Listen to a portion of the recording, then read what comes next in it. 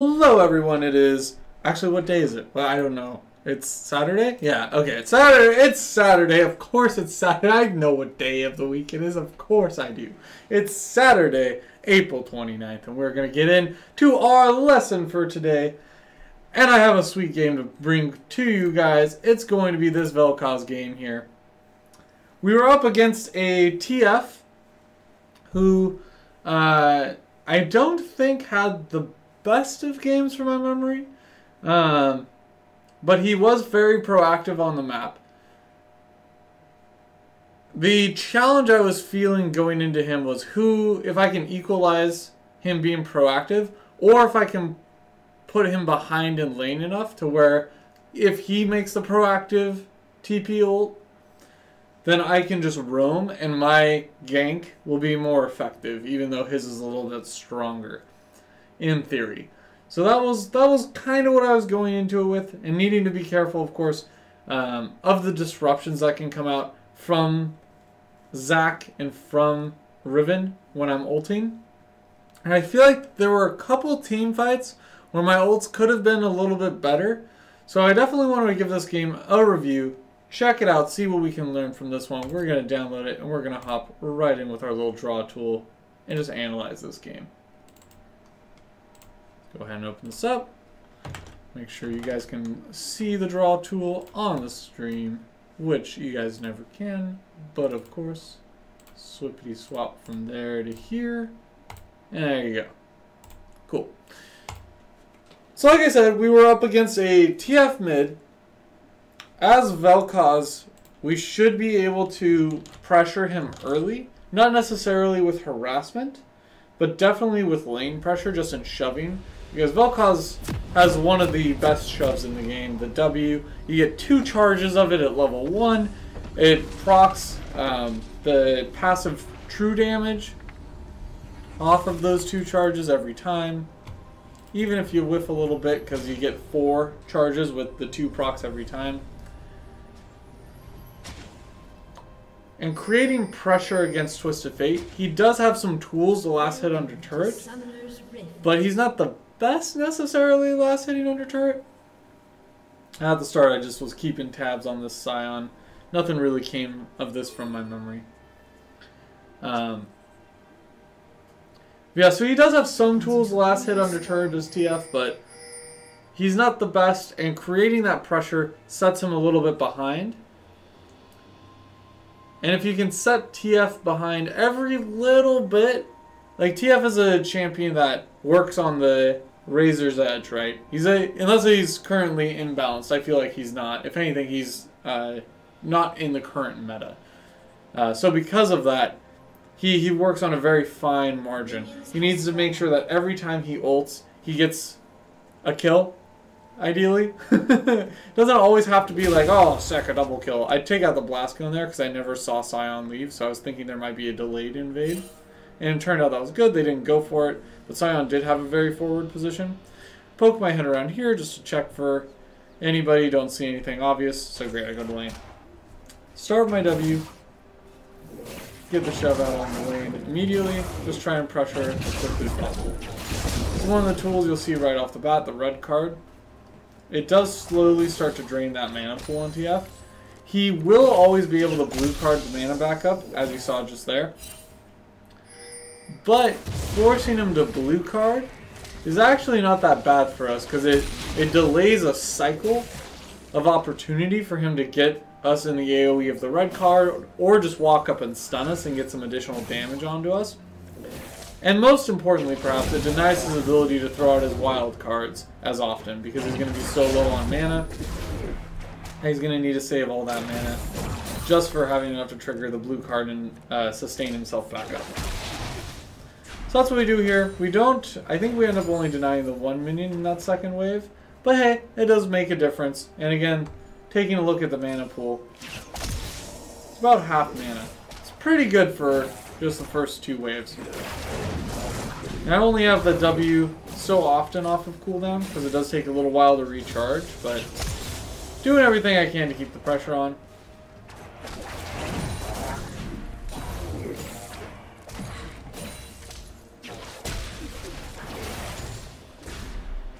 This is something that I remember from this game now that I'm seeing this. I took an additional wild cards there. I think I probably already had that in game uh, earlier. Right there, didn't need to take that wild cards. And right here on the way out, very easy. Just walk down and then over. I just walked in a straight line, and that's the only way wild cards hits you. So, um, perhaps a little bit of rust because I haven't played against TF for a while because he has been out of the meta.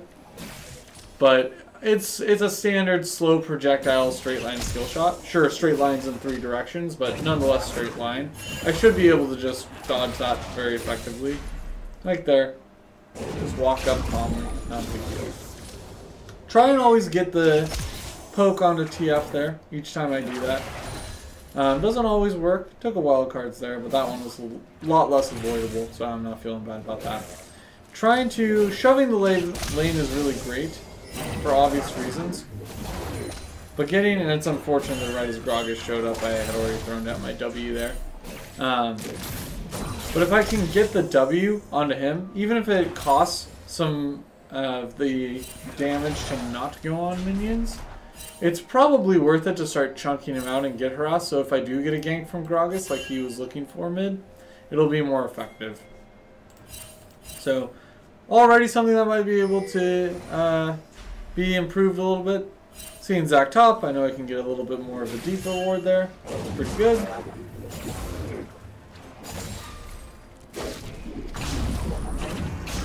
Proc the third hit of the true damage on those uh, caster minions in the back, so the shove comes out pretty effectively there. Only wind up denying the one caster minion, but again, creating pressure. And look at how low TF is on mana right now. He just leveled and he's still, like, already is out of. Just a small amount of uh, wild cards from him to farm and try and equalize this pressure I'm creating. And he's, like, way behind. And look at that. He yellow cards me, I think for the first time in a couple minutes at least. And he was out of mana completely. Now he's just regenning up passively. And that gives me an opportunity to roam bottom. Get the speed shrine from the scuttle. Look for this. Can't really find it. I actually popped my head out of the brush a little bit there. So kind of giving away if they were paying close attention. I think they had enough vision. I want to just get this off, even if it's sub-ideal. Just to get these cooldowns out, just to get a little extra harass damage out if I can find it. And then rotate back mid. So I'm able to pull that off. We are going to miss uh, a little bit of a wave. But now it's a cannon wave, so this isn't going to push any deeper into the turret before I get back. So I can catch pretty much this whole cannon wave. Like, there's going to be two melees that die before I get there. Actually, one more melee will crash. But I get the majority of this cannon wave. And I will create in doing so by getting us a bit of a push on my own side here. Which forces TF to make sure he comes right back to lane. TF not 6 yet, not as important. I was considering backing there. Didn't quite have enough for the first item. And also seeing TF come back not 6, I think, okay, maybe I can get another 6. But then his 6 comes out, so Instead, I just back up. It's really good. Staying any longer, staying even that long was a little greedy, which is why Zac was so readily positioned. Because TF, as you'll notice, already had me up on a sheen. So if Zac could have forced an engagement there, that probably would have gone in his favor. It was a very uh, lucky walk by for us. Fortunately, we are able to turn right under Gragas. Even with the flash, not going to be enough. Didn't know that TF had ulted there, or had uh, ignited there. If I did, maybe we could have made that, uh, maybe I could have pressured him a lot more aggressively. But I make my way top, seeing that after the recall, because I assume TF is going to go for a gank bottom. So this whole side of the map is effectively zoned by him, and who I assume Zac would be there to support that. We're just going to toggle our vision here. So I start heading top immediately to try and get this Jax a kill. So I'm thinking, okay, I can't really affect bot because by the time I get there, the action will be over, as we saw it already was. Sure, maybe I could have been there to like disrupt this uh, Infernal Drake, and it is Infernal. That does matter quite a bit. But if I can get this Jax ahead in a lane against a Riven, That's going to be very good for him. He can make it so Riven can't stop him. That'd be great. Fortunately, Riven's able to see me from the minions there. So I just go here, try and throw geometry, but she immediately walks away, so no way to really change that. She turns all in on me here. And right now, because she just used her uh, repositioning tools in her kit to place herself right here, I know this is going to be two stacks on her from both procs of this W, right? So what I need to do is reposition away towards Jax, who is making his way towards the engagement, seeing that she just used pretty much all her available tools to all in me there. Um, if if possible, Flash would probably be the ideal thing. But with the two stacks already on her, if I can land my E right here to get the knock up on her, that should delay her enough in the crowd control to where Jax can get close enough and jump to her. And then Jax can use a stun that will give me time to unload with my ultimate. And between all that, if we play it properly, we should be able to get the kill on her. So let's see what happens. I throw down the E first, then I flash, and it looks like that's exactly right.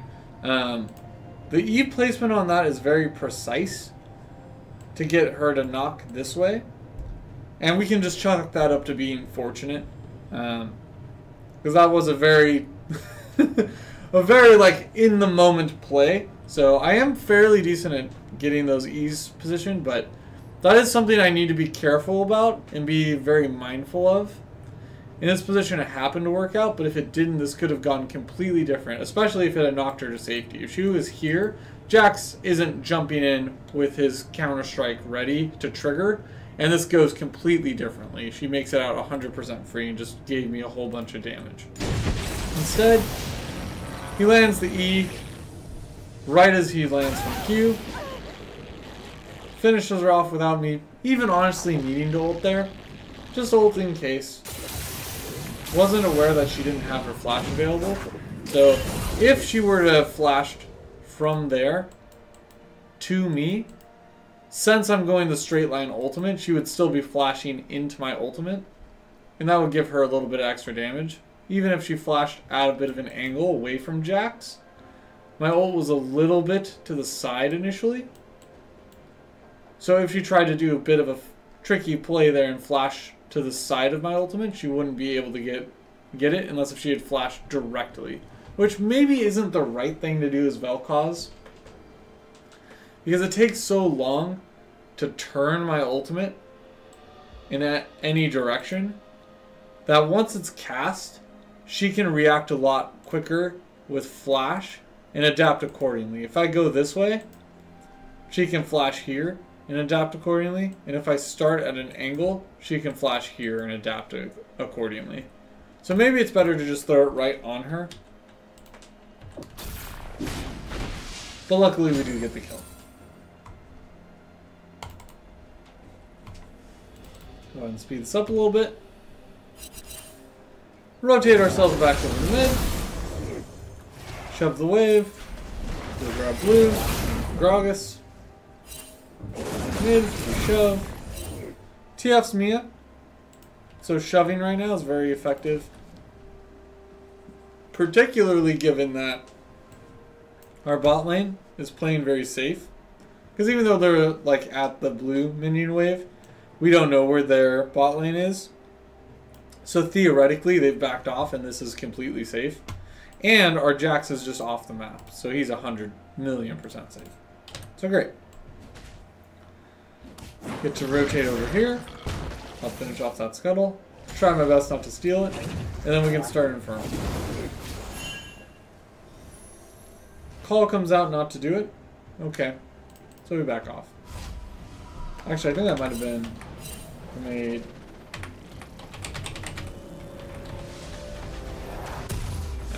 quite see yet. I think that might have actually been TF pinging. Um, but nonetheless, we decide not to do it. Um, Gragas, not feeling the most confident at this point in the game. I wouldn't either. No worries. So I just stick with the team call, which is something you always got to keep in mind, right? I feel like the Infernal maybe was the right call there. But it's far more important to just rotate back to um, get my items. Can see, I picked up the... Where is the... There we go. Uh, I picked up the other component from a Morello Still don't have the last uh, Amp Tome, but I do have both the Fiendish Codex and Lost Chapter. So with even without the blue buff, with the Lost Chapter, and there's a shove. This is really unfortunate. He walked on a ward I had just placed. No way. No way I should have died here. I should have backed immediately. This is what I mean with good E placement, to knock him away, to create as much distance as possible. But even in doing that, I still died to TF. TF just flashes to get the finish. And so, I, I didn't notice Jax actually smited that. Um, but we see here in the gank, right? I throw the ward down, and okay, right here is the reasonable point of reaction, right? We can't instantly know to run away. But now that we see him, now we can start moving. The wild cards are going to come out like this path. So it is going to force us to go a little bit like this. But it, the wild card times out about there. So once we get here, we can then shift and go over to our turret and should be fine. Alternatively, we can just take the wild card damage and just cut right through the minion line immediately. Or try and dodge the wild card damage by getting in between these two paths and then cut over. We have a trident of options available to us.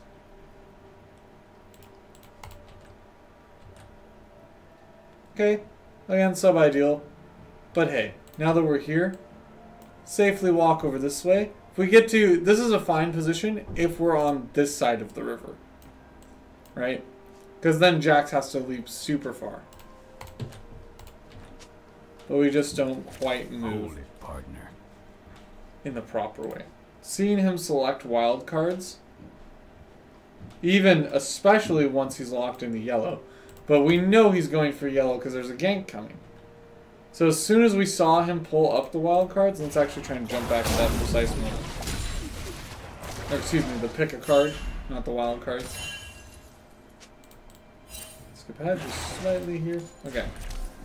Right there. Like we already should have been gone. And it's just too late.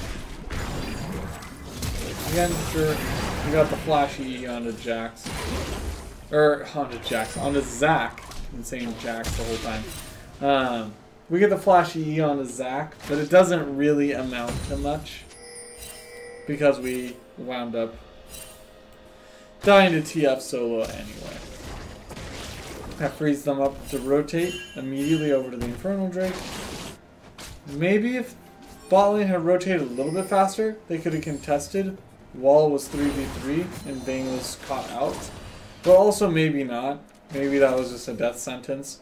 TF does have blue, I'm not up, so there's no reinforcements coming for our side. TF has plenty of sustain, so we can just go raw damage cards. Probably the safer play is to just give it up. And it is only the first Infernal Drake. Not that devastating that we lose it. Would be far more devastating that we lose it and several kills. So, again, Gragas erring on the side of caution here. Don't mind that play. Never mind uh, the cautious play. So take a little bit of wild card damage there. I didn't need to. That's fine. Trying to create the pressure. Seeing that Gragas is. Here comes. Can't quite get there in time. Just try and throw out the Q because I know the E to interrupt him wasn't going to make it in time. So I try and Q for a little bit of damage. Not even the projectile of the Q gets there in time. Back into the bush slightly to give myself a little bit of time out of vision and hopefully bait him forward after Nami a little bit more. Does work somewhat. Minor. Probably negligible difference. Do wind up just barely getting the kill on. Works out. So we answer a kill for two. Not the best trade I would make, but it is important that we answer something. And again, it's on to support, not the most relevant, but there's no objective to take immediately after that the difference between a support versus a jungler or an ADC makes that much of a difference. Because it's note, they're not even pressuring. Jack, uh, Zac is shoving it in. But that's about it. So I shove in mid, and I look top.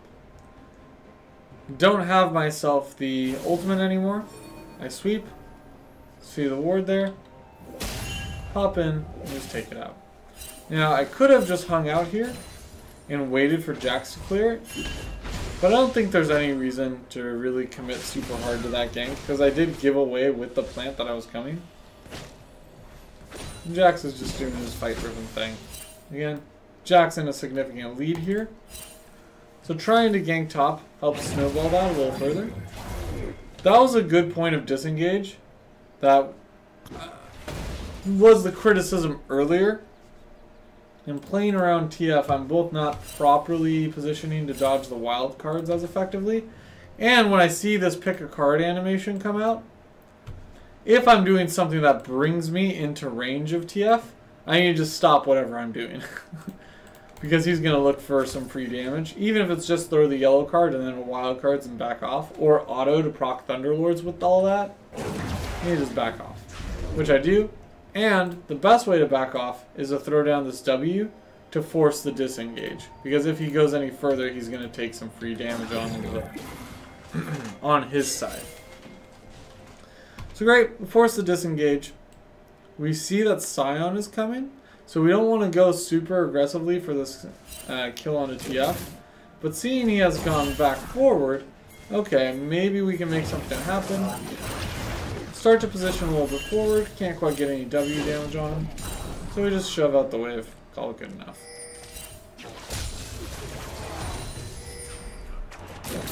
Again, it's not just that our team doesn't have uh, a huge kill advantage. Since he has five assists, TF is actually ahead of me, even though I do have a kill. So, no reason to try and force something that isn't coming our way. Good cautious play. Come back in lane. Try and get the shove to equalize this push. Make sure we don't miss any of the minions. Very good. Go to pick up blue. Gragas gives it over again. Well, thank you again, Gragas. And since I'm already all the way at blue, I look bottom. Can't quite make something happen, I don't think. Probably should back off and go back mid. I decided to commit. Once I'm here, and I definitely need to hard commit for this. But this is really bad for a number of reasons, right? So let me just give us a little bit more vision here. So, once I was here on the map, I could have mitigated the whole situation by rotating back to mid lane and catching this entire fresh wave, right? Could have been an option.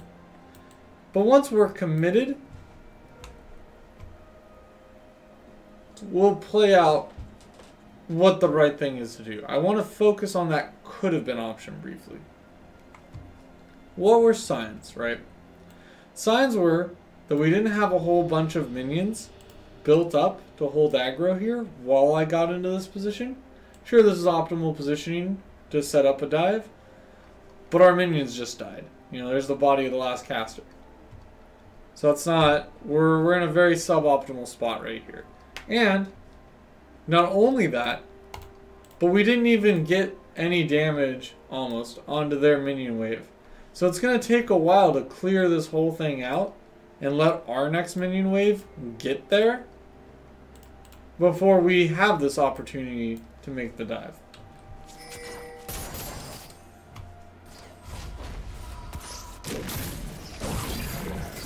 Sure, she's shoving as hard as she can.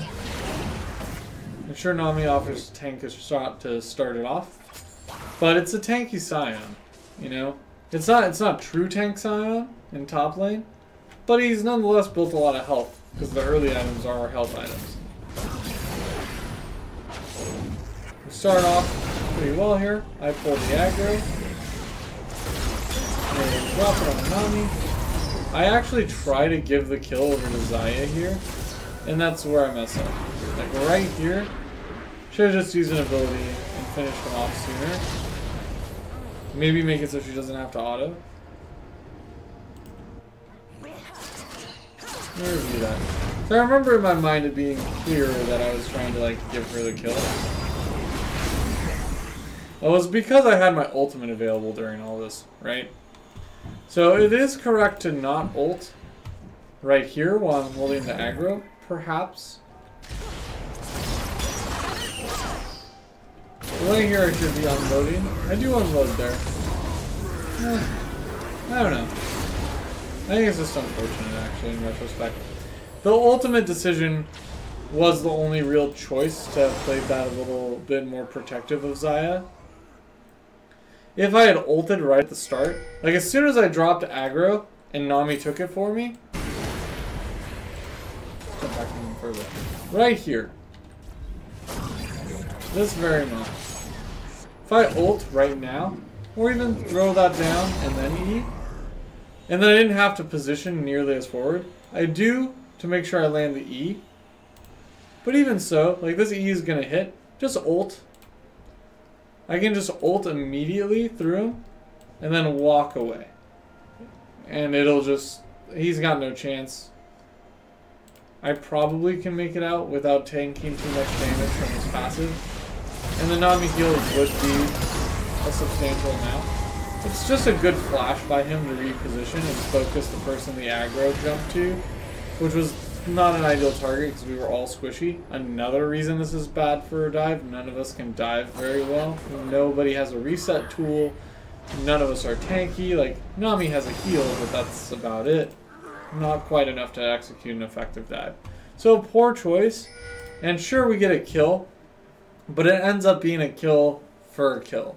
So we effectively didn't do anything on the map. Sure, okay, maybe we equalized the goal differential a little bit. But that's so minor, it's negligible. If we're going to invest that much time and energy, we need to make sure that we actually get something significant out of it. And here is where our first mistake comes in. And sure, we've been pointing out some mistakes already, but this is a little bit of tilt from the game. I usually don't tilt. I'm usually proud of that. Having played that poorly, and held my ultimate too long, I felt that. And I knew I was doing that. So I overcompensate here. And this is something I do occasionally. Is if I make a mistake, I then immediately try and overcompensate by making a new mistake where I just, okay, well, I'm not, I'm not not ulting this time. He had his summer, or his flash up. I knew he had his flash up. And Gragas still hadn't thrown out his barrel yet, right? With a Gragas you gotta wait till he throws out the barrel to see where they land before you start channeling your ultimate. Because even if he gets a barrel that's really good and knocks him towards us, if I start ulting this way, and now TF is here, the turn radius on my ultimate is so slow that turning this much actually takes a couple seconds. And TF might have been able to yellow card me during that time. He might have been able to walk even further out of range. So I just have to cancel my ultimate entirely. And I'm not the highest health. So if I put myself in too vulnerable position channeling my ultimate and hitting nobody with it, maybe like the minion line, but that's irrelevant. The call for help is not going to matter in this engagement that's that's going to be a bad exchange for us. And it might even go as bad to be another one for one. And that's really what we don't want is to have that same one for one problem that we just encountered in the last fight with the dive bottom. So I need to wait for Gragas to get his ultimate. He can flash belly slam, he can flash ult. I gotta just trust him to uh, get his uh, side of it taken care of. And he doesn't even need flash here, so perfect. He gets the belly slam, gets a lot of damage there. This is a good time to throw out the whatever basic abilities I have off cooldown. Just to get some damage onto him. Maybe even just kill him with the basic abilities. My W is long enough to reach. My Q, I can position to lead a little bit. So when it splits, it'll cover like a nice T-bone there. Hashtag geometry. or even throw out like this and then split slightly early, so it gives me a long range of coverage in that direction. Again, hashtag geometry, love Vel'Koz. But uh, ulting right now is the absolute wrong thing because it keeps me. This is pretty much as far as I would ever want to be in the ulting. And I can't follow up with any abilities. So since he's CC'd right now from the Belly Slam, and I still haven't seen Gragas' ultimate come out yet, and I do know it's available, I need to just continue to position forward, wait to see when Gragas ults, where it actually knocks him to, because maybe it knocks him up this way, maybe it knocks him out this way. Instead, I just unload going for the damage, and again, overcompensating for not ulting in the bot lane And instead, we get the worst case scenario. He flashes uh, the barrel to make sure the cask knocks him out of my ult range. So he gets away, and we both burn our ultimates. And then I make the worst mistake of all, which is, again, overcompensating. This is just the utter tilt I'm feeling. Throw down Ignite. I don't break the Q if I broke the Q here and got one of the uh, side charges to hit him, I actually would have killed TF here. But I didn't. And I take aggro. So I die and give him blue buff. The tilt. The tilt. Gragas, nice cleanup. Thank goodness. Thank good golly goodness. So it winds up being a one for one, but I think it's important to see that I gotta not overcompensate. You know, if I make a mistake, it's the correct response is just to accept that that's happened and move on and recalculate. Instead of trying to make up for it. You know, just adapt to the situation. As if it wasn't me that had caused that mistake. You just play it out. See what you can do. Seeing me on the uh, scuttle means she knows I'm coming, but I think it's Jax.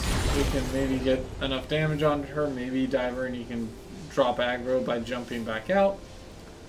She's far enough back to where we don't really commit, which is great because Zac comes in.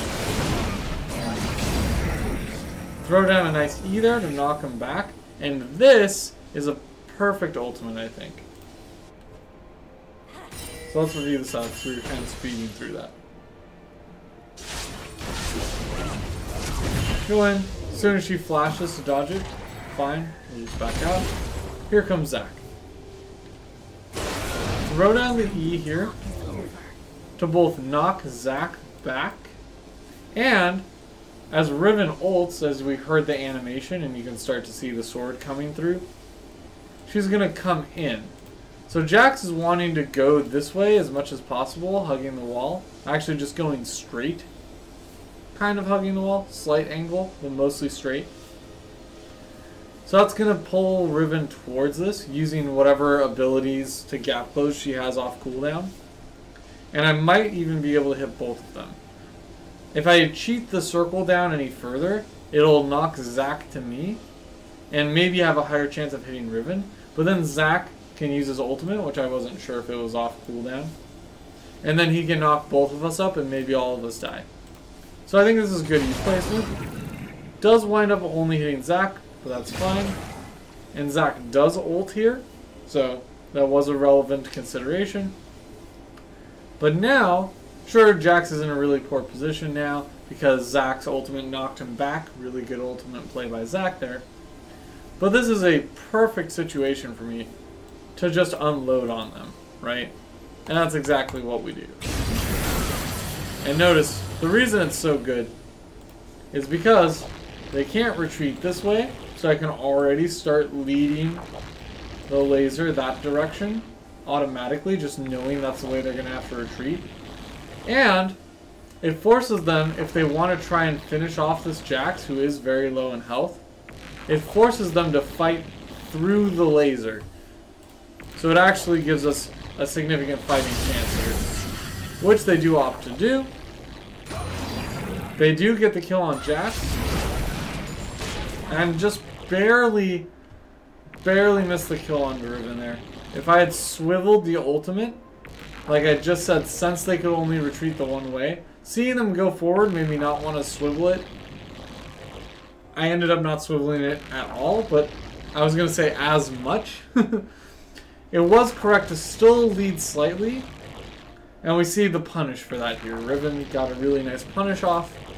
So leading our ultimate a little bit could work. Could have worked out better for us and resulted in a double kill there. I'm almost certain.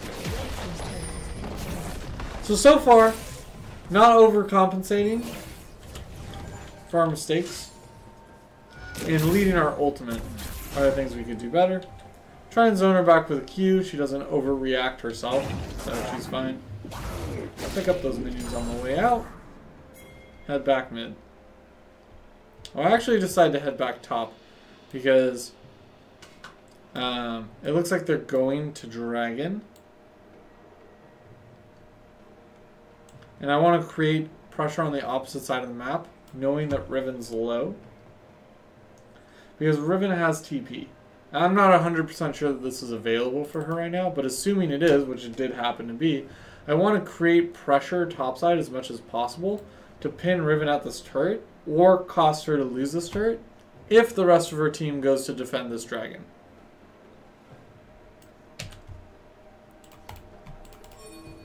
Sure, rotating mid creates the pressure mid, so we have a little bit more defensive vision to secure that dragon. But seeing no Riven yet, I say, okay, I'm just going to go mid. I'm going to be a little late to that party, but I am going to be able to create the pressure. Now seeing the Riven there, but already being this far, I feel like I'm pot committed at this point to just keep rotating mid. It's unfortunate, it allows her to catch all that. But it does, again, mean that she can't TP in to try and stop this. Which means they just go bot, which means we get this free drain. Good. Create some pressure here. Get a little bit of free damage onto the turret. All well and good.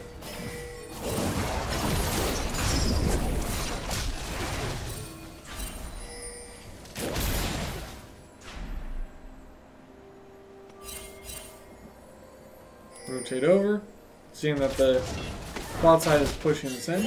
But we do see the Zac coming. So I position a little defensively here. Try and get some free harass down. See that he's going to do the blue buff. I just want to throw as much harass down as I can. Not even really trying to contest this. Especially now that I see Sion. I gotta back away immediately. Good, proc the true damage. That's all I really wanted. But now seeing them line up like this, is a very good opportunity to throw my ult down to try and secure the blue buff, but also just to unload a lot of damage in case Gragas and Nami open up on them and Xayah starts rotating.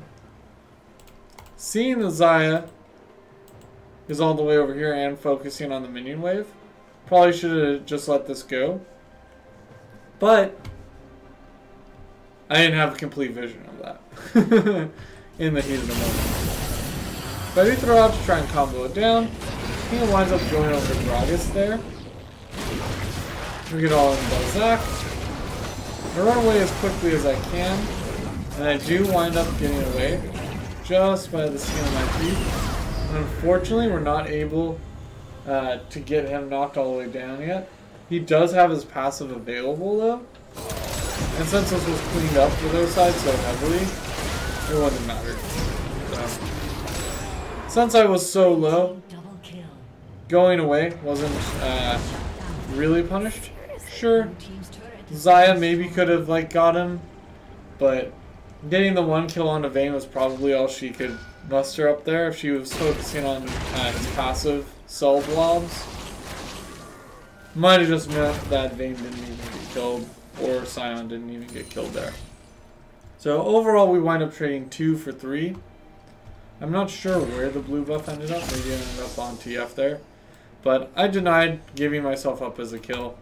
Which always feels bad to say that as a positive. but I feel like that was a pretty risky situation. I think I overall played that fairly decently.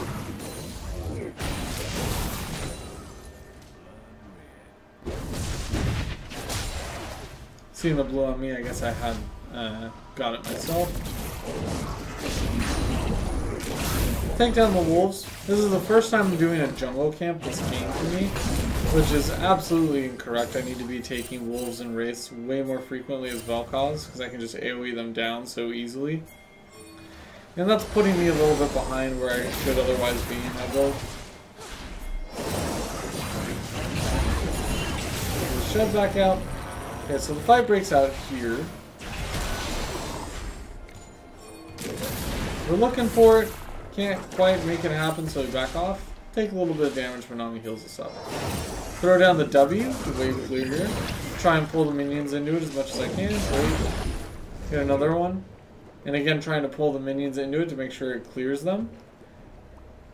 TF doesn't take any damage of it. Maybe I could have poked TF with it. And maybe I could have had just better awareness over what was happening here. Because Gragas engages, seeing the clear line of TF. Does miss it, unfortunately.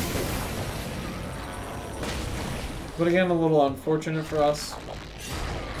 Not able to swivel quickly enough to adapt to that, so TF makes it out.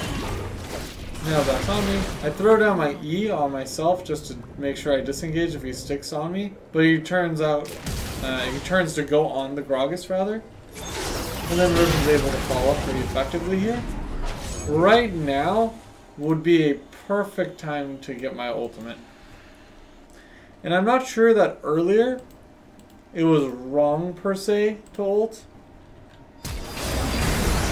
Watching the rest of this, my W does do a good uh, fair bit of damage there. But they do get the cleanup. Because they have so much AoE damage themselves. And they wind up getting, yeah, triple onto Zac. 4 for 1 overall. If I was able to ult at that position, might have been different. And I think this is, again, me ulting too quickly, right? I even open up initially more onto Sion than I do onto TF, right?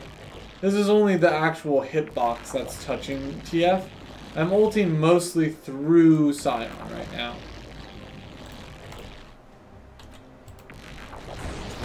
And even if that barrel didn't come out, most of that damage onto TF is from the barrel. So I wouldn't have had the best ultimate there. I think this was a missed, mistimed ultimate.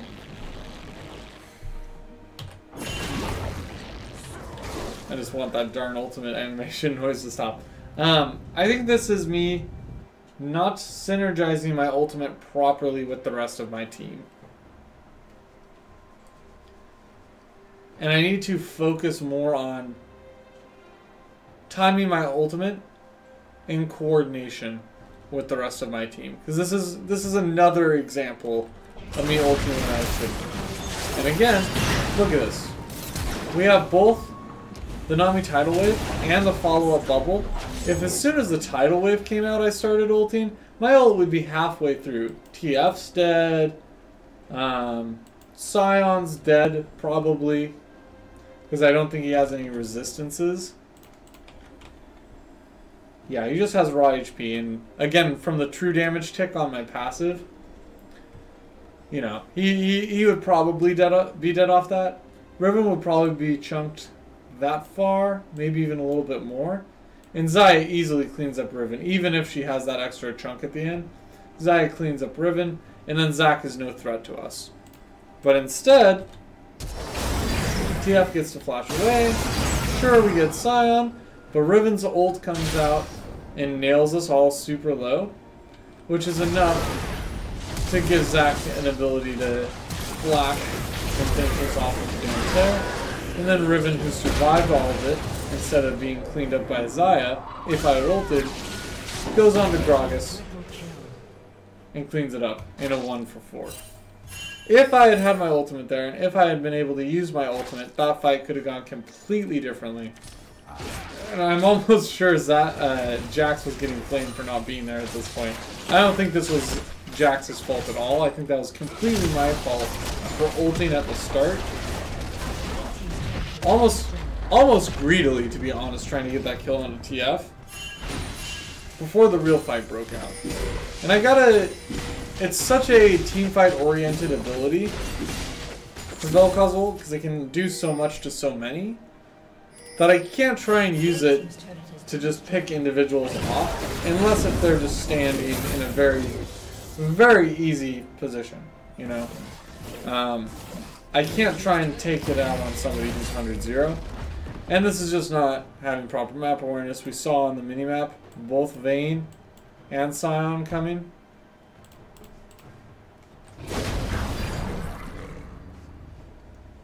And maybe it was correct to try and run to the rest of my teammates, but I don't want Ven Vayne to condemn me into the wall. So I try and run away from her as much as possible and hook around. Unfortunately, Riven shows up, which just means I got no hope.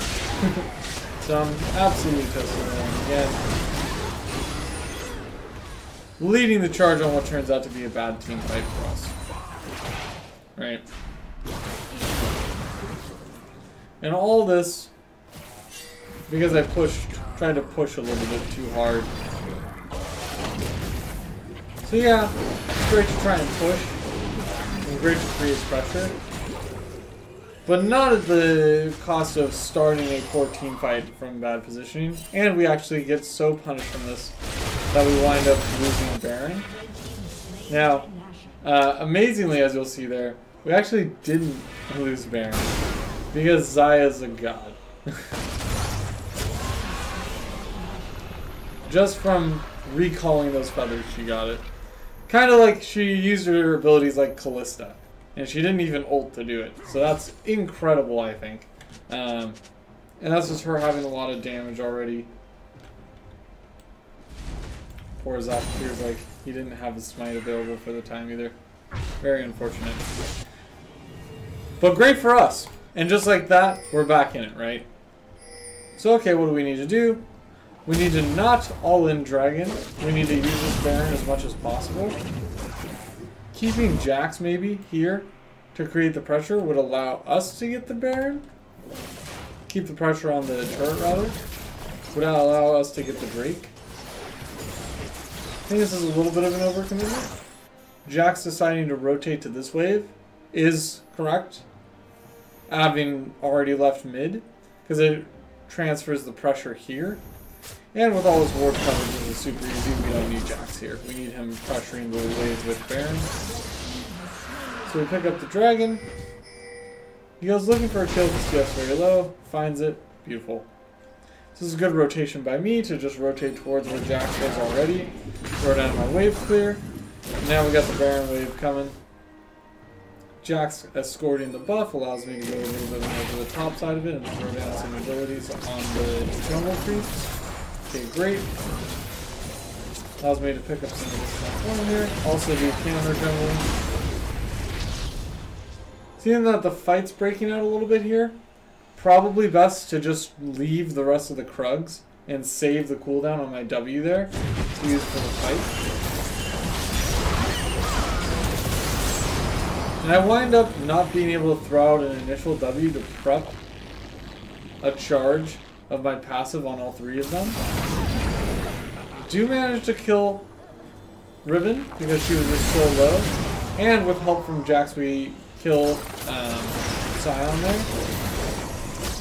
And miraculously, enough damage comes out from my team on the main. Beautiful focus on their part to keep me alive.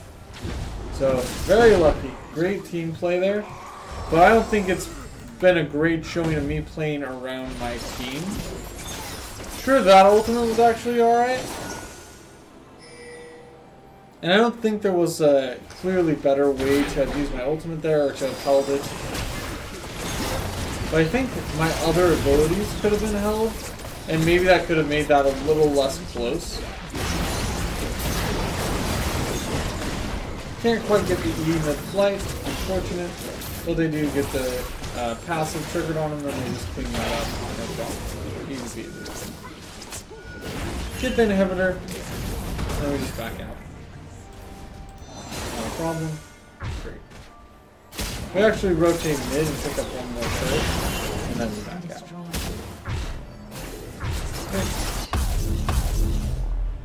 Again, I think the crux of this is working. Good, I'm glad I'm jungling.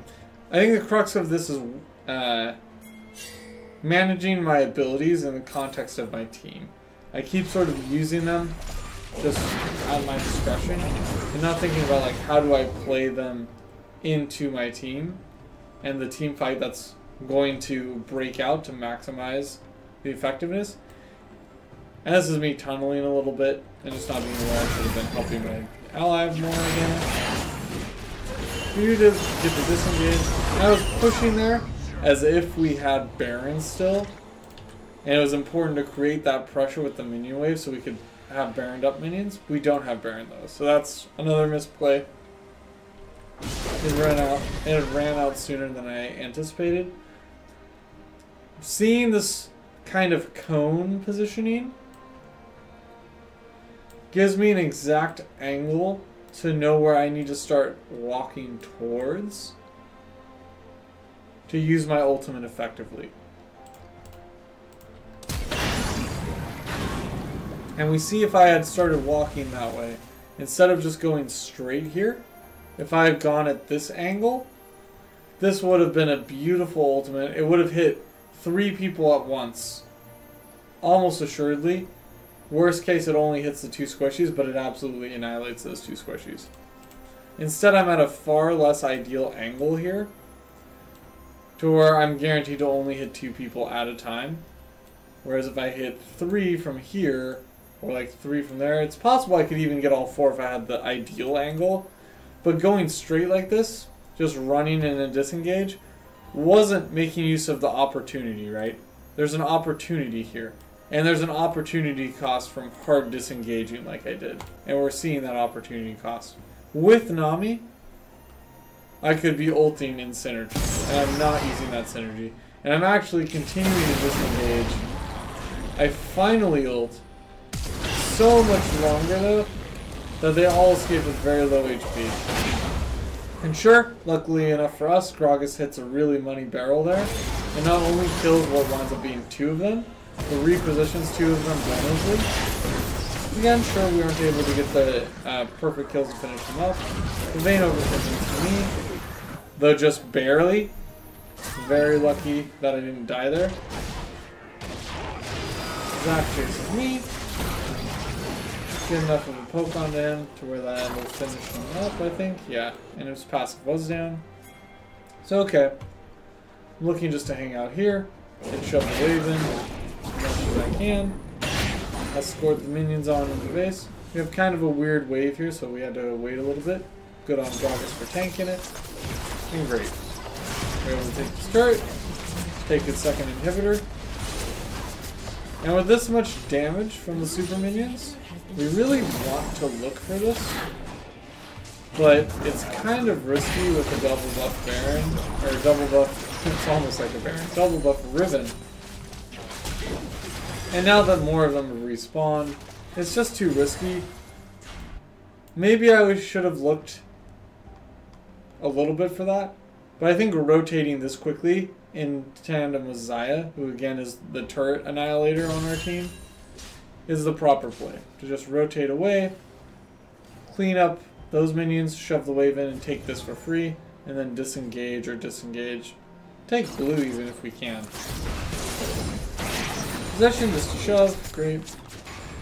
I stay hidden in the bush, try and look for a shot onto TF. Can't quite find it. I should have positioned myself actually a little bit more forward.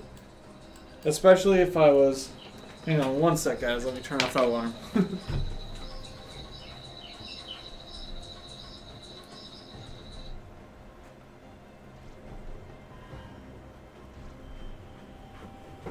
Sorry about that. It's my alarm to remind me to uh, stop gaming if I still am. but we're going to finish this replay. Um, if I had just positioned myself a little bit more forward in the bush, throwing the skill shot right at him like I did might have actually hit because it stopped about like that distance from him. That small change could have made the difference and actually gotten some more poke on him, which with the proc of two shots of the W, assuming I don't get the E on him to actually do real damage, probably takes off that much health. That's a significant amount of health. But a little bit position there. It's not that big of a deal though. It means he would already be dead, so it doesn't matter. And I wouldn't have had to ult him down. Was in here doing so much damage? It's possible that I didn't need to ult there. Just securing a kill at this point, when we already were looking to disengage, is actually not that bad. I still think that that wasn't a proper use of my ultimate overall. But given this is an improper split overall between our team. We're committing to two. We're committing to disengage, and they're committing to chase down kills. So I should have maybe like stayed with them, but this is an unfortunate split for our team. Um, nonetheless, I don't think overall using that ultimate there was correct, and I actually do decide to cancel my recall just to give them a little bit more support so they can properly disengage again because I do have clear. And seeing how far the enemy team has been pinned back from the super minions on the bot side. Okay, maybe we create a little bit of pressure here. And again, in retrospect, maybe my team was right. It was a fine rotation to rotate blue, but in retrospect, the shove coming in bot was something I probably should have noticed. I was probably right to pressure more. My ultimate is not up. I think this is from the pauses and the cooldown bug that these ultimate timers keep ticking. But just imagine if I had had my ultimate up, I could have positioned myself right up against the wall and probably ulted through. That's a the worst crooked line I've ever seen. And probably ulted through all four of them and just clean them all up and we would have ended the game right there if I hadn't have ulted here to secure TF thinking that we're disengaging, maybe it's alright to ult, because you're about to have the cooldown timers uh, slightly mitigated anyway by the time you're in base. But I don't have ult for that. And if I had, this would have been a completely different, possibly game-ending fight. So instead, they're able to just barely defend this turret, good for them. Critical smite there coming out from Zac on not the super minion. Very hard to make that play. They defended at 62 HP. Very good play from Zac there. Winds up saving it. Regardless, though, with both of these objectives up, alright, we gotta make this happen. So, I say, okay, Gragas is already down here. I should run straight here, so we can all group on that and finish that off.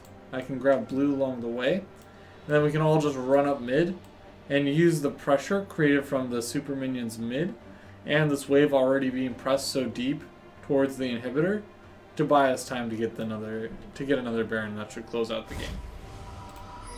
And especially after seeing Gragas' recall, I say, okay, the situation's a little dire. Let me skip the blue buff and just go straight to the Dragon Pit. If I can actually select this. So I go straight here and start this off. Xayah actually grabbed the balloon away, so maybe I could have grabbed the balloon and fine. I grabbed the fruit to heal myself back up to full. Fine, we look for a little poke there. Okay, but I'm trying to rotate up as quickly as possible. Picking it out. Seeing that the fight's happening, or that we were positioning aggressively for a push, I just shove out the next wave. And now seeing that the fight's breaking out, I don't try and manage the wave there, instead I just try and push forward and get myself as close to my allies as possible. That's a good example of the kind of play I'm talking about, where I need to think less about like my own context, like, okay, I want to be positioning for Baron, so let me be on Scuttle Crab right now using my abilities effectively for that goal. I need to think about the context of the team more. And this is absolutely the correct play in the context of the team. I gotta go here to help be at this. If if this is happening without me bringing the ambient damage in and shifting focus onto me from range, this goes a lot worse. Now, it does go bad, but we get a kill on Riven, and Xayah is able to clean up Xayah is super fed. uh, funnily enough, uh, I think Sion almost killed her here. Yeah. But if I hadn't have rotated down there, it was already a 3 for 3. Um, not me just respawning. If I hadn't had rotated there as quickly, it might not have worked out for us. So, good play by them to shove up mid to create the pressure with the super minion. So Xayah can just go solo this uh, inhibitor. Great. She's able to do that very quickly with her built-in attack speed buff and all the attack speed she's built. Great. So, as soon as I spawn, I run top to reset the shove, and then just collapse right onto uh, Baron.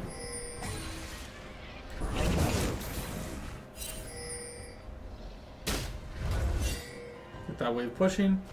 Seeing that Xayah's all the way bottom, I think, okay, we don't want to fight this. Xayah is a lot of our uh, kill potential.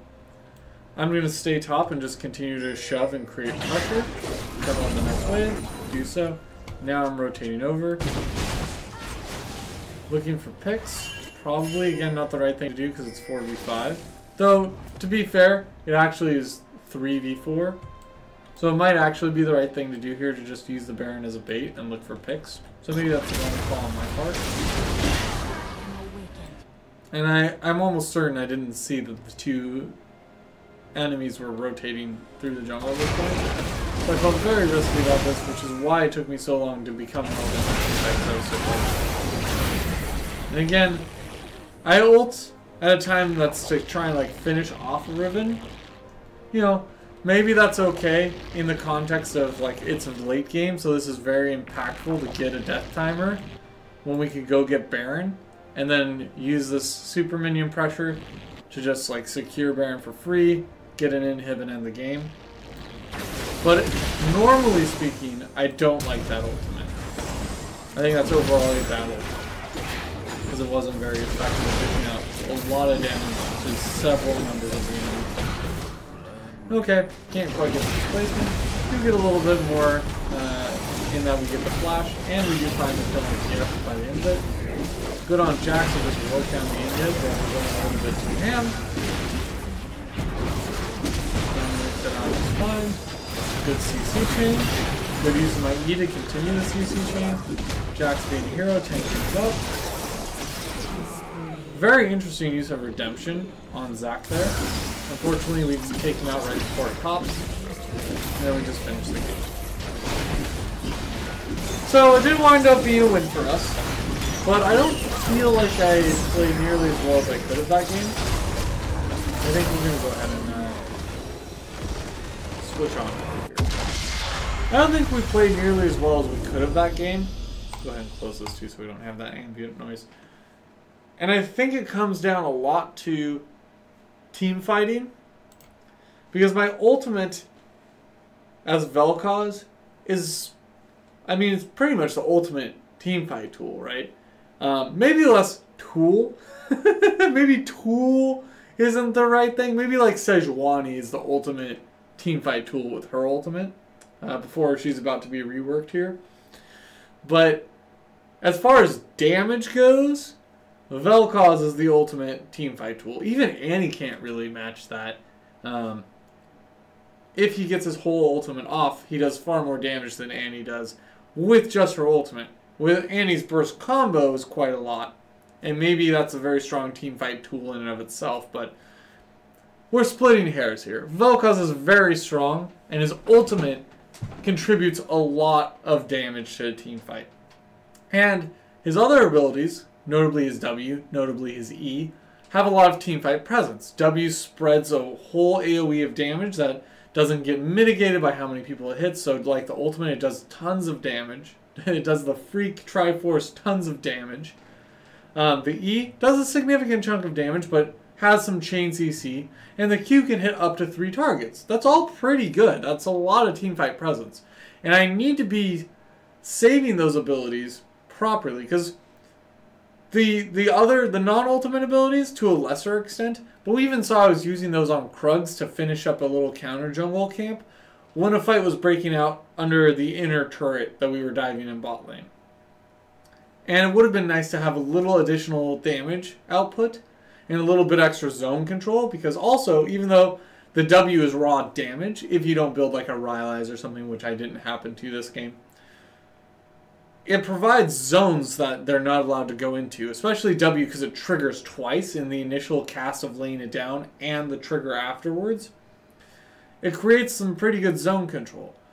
And I need to use that in synergy with the team. I need to let the team engage instead of opening up with our finishing damage. I feel like I kept opening up with our final shot and that's not that's not the proper order, and that's why we got a lot less out of that.